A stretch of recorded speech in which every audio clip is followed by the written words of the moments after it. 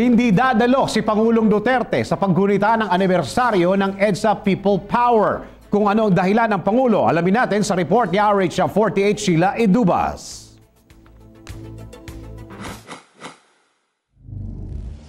Hindi dadalo si Pangulong Digong Duterte sa 31st anniversary rights ng EDSA People Power Revolution.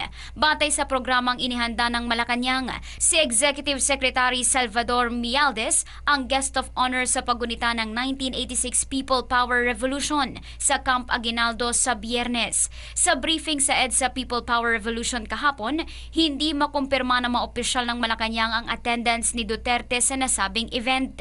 Gayunpaman inamin ni Senior Deputy Executive Secretary Menardo Guevara na ang pagiging malapit ni Duterte sa pamilya ni dating Pangulong Ferdinand Marcos ang dahilan kung bakit ginawang mas simple ang EDSA anniversary.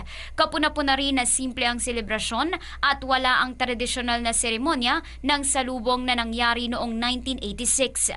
Samantala, nilinaw ni Presidential Advisor on the Peace Process Jess Dureza na kaya hindi makakadalo sa EDSA anniversary si Digong ay dahil pangungunahan nito ang relaunch launching ng Comprehensive Agreement of the Bangsamoro o CAB sa Davao City sa Biyernes. Para sa MBC Network News RH48 Sheila Edubas naglilingkod sa pagbabalita.